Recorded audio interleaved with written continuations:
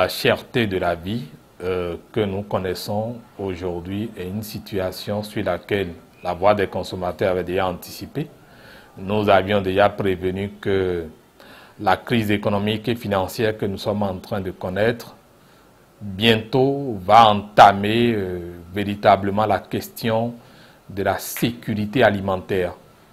Et ça n'a pas raté. Euh, cela fait appel à ce que nous, en tant que pays africain, nous devrions commencer par mieux anticiper sur un certain nombre de préoccupations de gouvernance.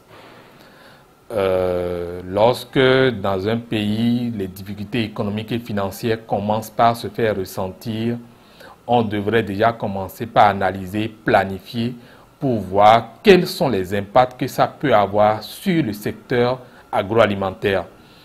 Et lorsqu'on le fait, on peut déjà commencer par se dire quelles sont les dispositions qu'on peut prendre pour garantir au moins la sécurité alimentaire, pour que chaque ménage puisse trouver à manger. Et ce qui se passe aujourd'hui, en fait, euh, ça peut s'expliquer par trois phénomènes. Le premier, c'est les changements climatiques qui font que la pluie ne vient plus forcément au bon moment. Ce n'est pas qu'il ne pleut pas du tout. La pluie ne vient plus forcément au bon moment. Au moment où les producteurs, les agriculteurs ont besoin de la pluie pour que les semences puissent germer et faire pousser les plantes afin que les récoltes soient bonnes, eh bien la pluie ne tombe pas en ce bon moment. Et parfois, quand ça arrive, c'est avec beaucoup de virulence ce qui fait que les récoltes sont emportées par les crues.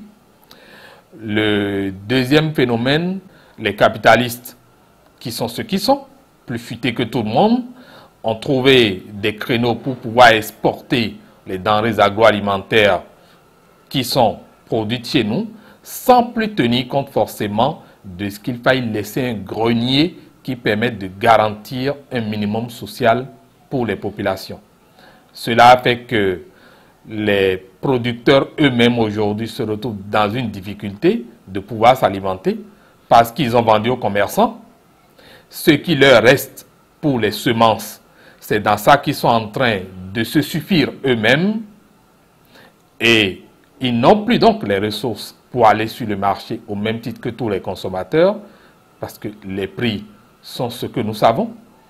Le gari qui coûte près de 500 francs aujourd'hui, le maïs aux environs de 400 francs, l'huile végétale importée, et c'est ça le paradoxe, qui coûte dans les 1200 ou 1300 francs, ce qui fait que ces pauvres populations qui ont produit, même n'arrivent plus à jouir de ce qu'ils ont, ils ont produit.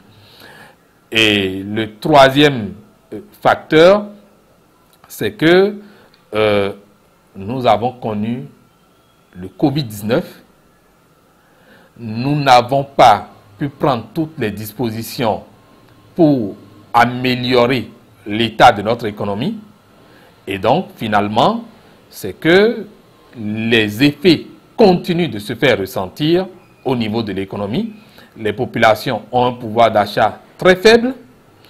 Les états des salaires ne se sont pas améliorés globalement. Les affaires ne tournent plus pour tout le monde. Vous rencontrez n'importe quel opérateur économique aujourd'hui, c'est des plaintes, c'est des complaintes. Et donc, finalement, tous ces trois facteurs-là ont concouru pour que euh, la cherté de la vie devienne une réalité tangible, même si certains conseillers disaient au chef de l'État que la situation n'était pas si grave, eh bien, le chef de l'État a dû se rendre compte aujourd'hui que tout ce qu'on lui disait n'était pas forcément vrai. Les trois facteurs que j'ai énumérés sont les facteurs les plus essentiels. Ce n'est pas les seuls facteurs. C'est clair qu'aujourd'hui, les produits de rente sont plus intéressants pour les producteurs euh, que les autres produits euh, agroalimentaires qui étaient euh, réalisés ou mis à la disposition des consommateurs. C'est un facteur forcément qui, dans une certaine mesure, interagit mais euh, ce n'est pas le plus essentiel. Euh, ce n'est pas le plus essentiel. Je peux vous dire aussi, par exemple, que il y a euh, les taxes qui sont imposées sur les denrées, puisque je vous ai fait cas de, des huiles importées aussi qui ont connu la hausse. Mais ce n'est pas ces facteurs seuls qui ont vraiment été à la source de cela. Ça en fait partie.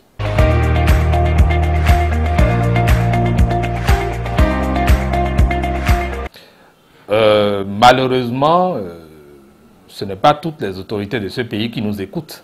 Vous savez, aujourd'hui, euh, nous, ne sommes plus dans une situation de gémissement ou de, de complainte sur notre propre sort. C'est là haut ceux qui dit il est plus intelligent d'allumer une toute petite lampe plutôt que de maudire son sort ou l'obscurité. Et donc, pour nous, aujourd'hui, il faut y aller loin. Il faut y aller loin, c'est déjà des dispositions que le gouvernement est en train de prendre, c'est appréciable, on peut dire que c'est des efforts louables, mais il faudra aller plus loin. Euh, nous, avons connu la situation des ONASA qui ont été mal gérés, très mal gérés, il ne faut pas se leurrer. Et moi, je pense que souvent les régimes ont tendance à euh, ignorer ou bien peindre en noir totalement ce qui a été fait avant eux, mais nous devrions abandonner tous ces concepts visant à ne voir que le négatif dans ce qui a été fait par les autres et nous dire si il y a de l'innovation à apporter par rapport à une initiative, il faut lui faire, lui donner un autre nom et puis donner toute la vigueur à cette initiative pour que ça puisse soulager les populations parce que les populations attendent et observent le chef de l'État. Après tout, les gens diront, c'est lui que nous avons élu. Ça fait le deuxième mandat. Ça veut dire que les populations se sont dites, il faut se confier entièrement au chef de l'État. Et lui-même a accepté cette offre en décrétant le hautement social. Et à partir de ce moment donné, euh, le chef de l'État, Patrice Talon, devrait utiliser toutes les armes à sa portée pour pouvoir soulager la vie des populations et donc réouvrir des structures de distribution de ces denrées de grande consommation à des coûts accessibles à tout le monde. Je crois que ça va être l'alternative qui va déjà commencer par améliorer la situation socio-économique. Mais nous, au niveau de la voie des consommateurs, nous sommes en train de nous battre pour voir euh, comment euh, nous rapprocher des sources où on pourrait avoir les denrées à un certain coût et pouvoir aider les populations à les avoir pratiquement au même coût. Parce qu'il faut souligner quelque chose. Ce n'est pas chez les producteurs que les denrées coûtent cher. C'est auprès des commerçants.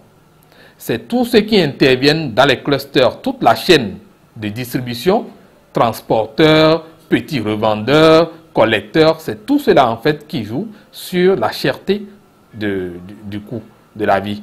Et donc, nous, nous voulons travailler aujourd'hui, et ça, ça fait partie de nos missions, de distribuer certains euh, produits euh, aux populations à des tarifs où les gens pourraient les avoir et garantir euh, leurs besoins quotidiens.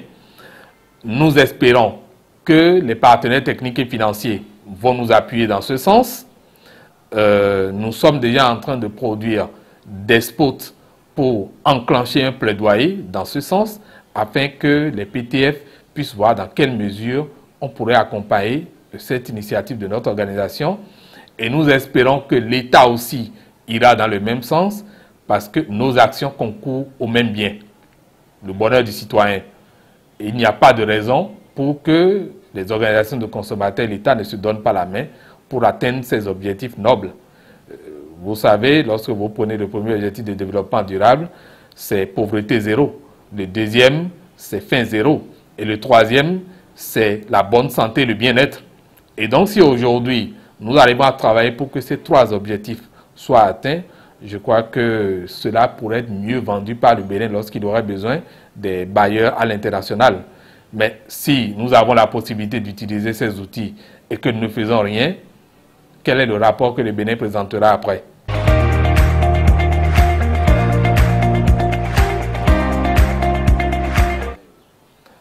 Bon, euh, l'arraisonnement des produits euh, exportés de manière illicite, il faut le préciser, euh, c'est devenu une alternative incontournable. C'est sorti qui sont devenues massives et à la limite sans scrupules, eh bien, on ne peut pas trouver que c'est mauvais, c'est bien. Mais l'État devrait renforcer ces mesures en rappelant ses opérateurs économiques en leur expliquant le bien fondé et en trouvant euh, un terrain d'entente en parfaite intelligence afin que euh, ce ne soit plus par forçat que euh, on obtienne des solutions, mais que ce soit une solution trouvée en toute intelligence.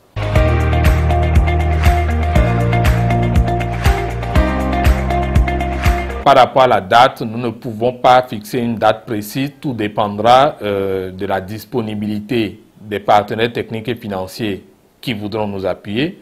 J'ai dit tantôt que nous allons lancer un plaidoyer au plan national et tout dépendra donc euh, de l'engouement que cela aura.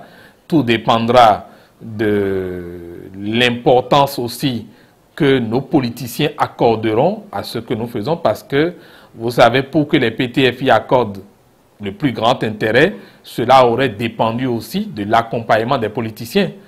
Euh, vous savez que nous avons une Assemblée nationale qui euh, représente le peuple et qui est censée défendre les intérêts du peuple, surtout lorsque le peuple se trouve en difficulté. Donc nous verrons bien la partition que va jouer l'Assemblée nationale euh, dans cette situation qui n'est pas du tout relisante qui fait penser au pire parfois.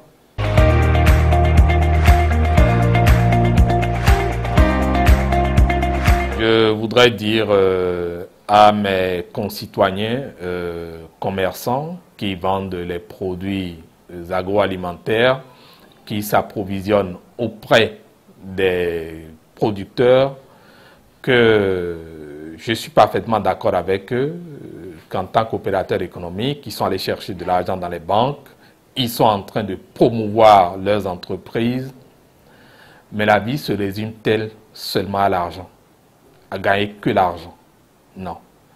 Et d'ailleurs, ceux qui nous procurent l'argent, c'est ceux qui vivent avec nous tous les jours. C'est ceux euh, auxquels nous vendons les produits d'abord sur place avant d'aller à l'extérieur.